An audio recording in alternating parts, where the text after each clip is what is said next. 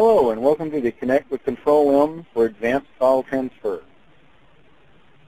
The agenda for today is we're going to look at the architecture of Control-M for Advanced File Transfer, otherwise known as AFT. We'll do a short demo of Control-M uh, for Advanced File Transfer, and we'll have time for Q&A at the end. On the right-hand side of your panel, there is a Q&A box. Please feel free to type questions in there, and we will do our best to answer them at the end. The basic architecture of Control-M is Control-M Enterprise Manager displays the statuses of the jobs. Control-M Server schedules the jobs. Control-M Agent is the entity that actually runs the jobs. And AFT is a plug-in into the Control-M Agent. It functions as an FTP client, and it can connect with FTP servers. It can connect between two FTP servers or between one FTP server and can use the local agent for local file system reads and writes. We have a request to retrieve a status report from the paycheck processor and store on the local report server. Control-M will be used so the transfer can be scheduled and tracked. Our local host name is CTMQ Pride, and it's a Control-M agent with AFT installed on it. The remote machine is called Paycheck, and the file that we need to retrieve is called payroll underscore status. We'll use AFT to connect to the remote machine and pull the file back. The information on the remote machine, such as the host name, the port number, username, password, uh, file location, and file name will all need to be received from the FTP administrator. So to transfer our file from the paycheck server to the local machine will require two steps. The first step is the administrator will need to set up the account information. And the second step is the scheduler will need to actually set up the job using the account information to transfer the file from the remote machine. We will now move to the local machine that I have set up. Where you want to start is the Control-M Configuration Manager. For each CM that's installed on an agent, there will be an entry in the Configuration Manager. The CM name for AFT is File Trans. Right-click on that, go to Account Management. There are no accounts currently set up for this machine, so we'll hit the plus sign. The account name is a logical name uh, we'll need the logical name later. It does not have to depend on the usernames that you use. Make it something that you can refer to later and remember. Uh, the suggestion is that you name it something to do with the, the type of transfer or the type of account. The Control-M Enterprise Manager users, this is a list of all the Enterprise Manager users that can access this account. If they're not added over here, then they will not be able to see the account information and will not be able to run jobs part of our security mechanism. Hit the next key. Uh, for this host, we're going to uncheck local CM. That would be using the local agent for file system reads and writes. Uh, host number one in our demo is going to be the remote server. Paycheck. And from the, the FTP admin, we know that it's a Unix machine running on port 21. The username is fetch. Enter the password, and then we want to select Get Home Directory. This will try to log into the machine on the port with the user, and it did retrieve our home directory.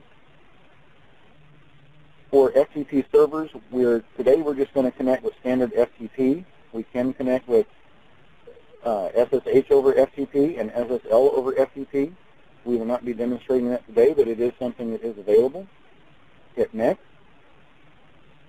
This is our second machine. We're going to use the local CM. So in this instance, we're not going to connect an FTP server to the second machine. We're going to request that the agent, the local agent that we're installed into, handle all our reads and writes. So here is our, with the Unix machine, you do not need the host name and the port since we're connected directly to the local agent. We're going to use a user that we set up called CTM7. Uh, this user has reads and writes some of the directories that we need to write into. Once again, we want to do get home directory to validate that we can log in. If the password's incorrect, it'll tell you that the password's different. For the local CM, we don't use the security of the FTP. So hit next. Three options that come up. verify destination file size, verify checksum, sum, and restart from failure. These are three common options used in FTP transfers. You need to check with the FTP server admin to see if they're valid for the FTP server that you're connecting to and if you want to use them with the jobs that you're setting up. By default, verified destination file size is checked. We'll leave that checked. Hit next. This is a review of the information we just put in, the host names, ports, and usernames. Hit the test button. Right, once you hit the finish button, it will actually write the information out to the agent and store it on a file system. Uh, this concludes step one, where the admin needs to set up the account. We will close this down and go to the desktop. And this is step two, where you actually create a job. So we will create a job, make sure that the job type is AFT, so this is the File Trans tab. Uh, one thing to note is the first thing you need to do, do is go to the Execution tab and choose the agent that you just put the account information on. That way when you come to the File Trans tab, you hit the load, you go to the correct agent to load the information. I'm going to load up all the accounts on this agent. We will select the logical account name that we just created. This information is filled in now. It's going to go from the paycheck server to the local machine. You can hand type in the entries down here for the directories.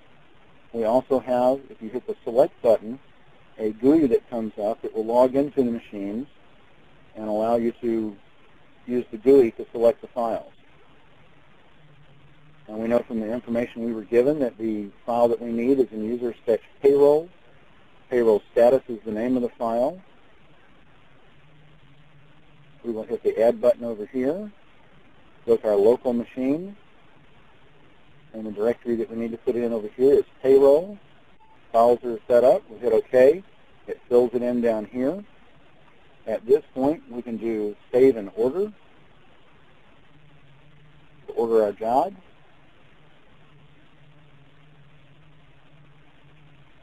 The job was ordered successfully. We will close this information down, go to the Control Enterprise Manager, find our job, right-click, choose sysout, and we can tell that our job's ran at this time. Here are the host names that were used. And we can see some of the FTP commands that were entered. Here's our source file. Here's our destination file.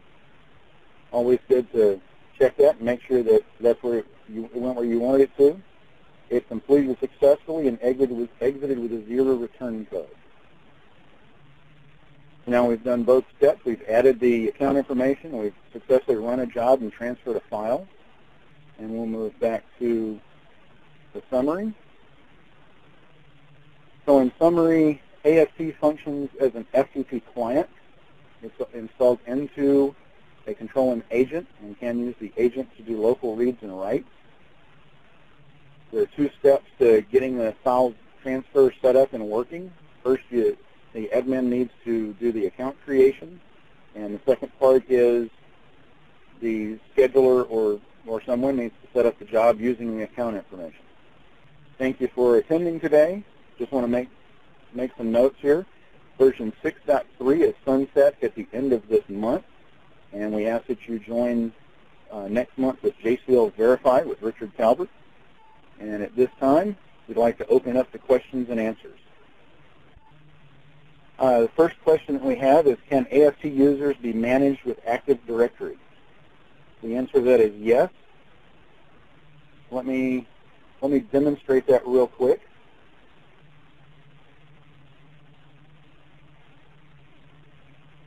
Within the Control-M Configuration Manager, when you create a new account, you must choose from the Control-M Enterprise Manager users. You're not able to free text. To use a, a user with outside of Control-M, such as an active domain user or something, set up the account using a Control-M user, and then double-click on it and go back in and edit the account, go to Authorizations, and from here you can free text a username.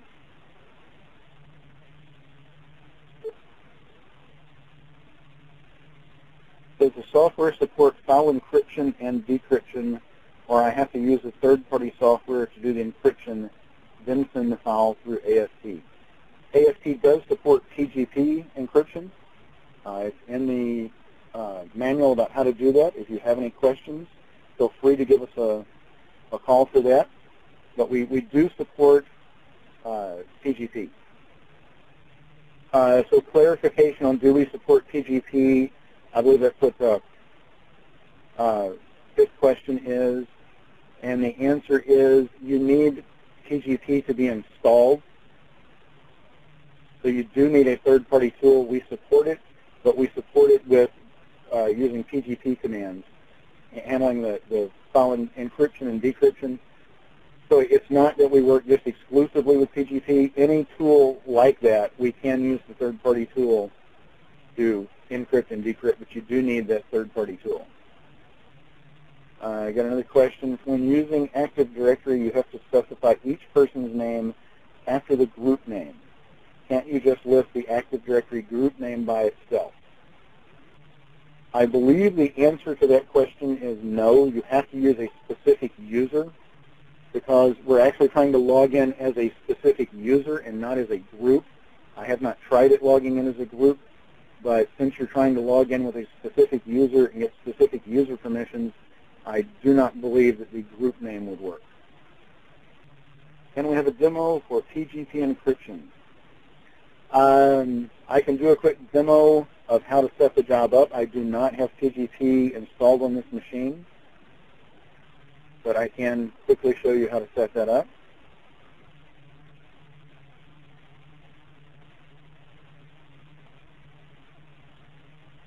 All right, so I'm the Configuration Manager, Account Management.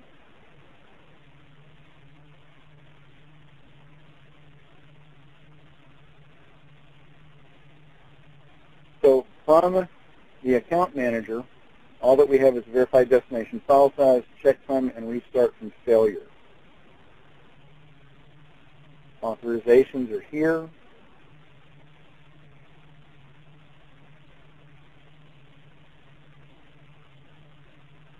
So PGP template management is where you would start. By default, we give some demo PGP template. PGP ex executable task needs to be filled in, passphrase, confirmed passphrase, recipient, and here are the parameters that we use by default. We have two by default. Please feel free to modify these for local use. Go to the desktop.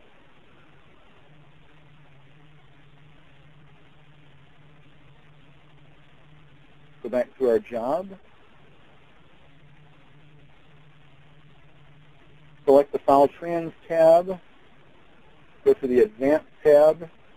And in the Advanced tab is where you get to set additional information for this job. Uh, we're not going to cover all of this in this one. Under the Commands tab, you would then select Enable PGP Encryption and choose the template name that you created from the CCM. Uh, one question that has come up recently is uh, versions of AFT with versions of Control-M. The current version of AFT is version 7. It will work with Control-M version six four seven 7, and version 8. We, we, are planning a release of AFT with version 8. Uh, I do not have a, a, a, date, release date for that yet. It is coming up. But version 7 of AFT does work with version 8 of Control-M without any issues. So the, the version of the uh, control module does not have to match the versions of the rest of Control M. Whenever we get to the end, we get done with all the questions and everything, or, or you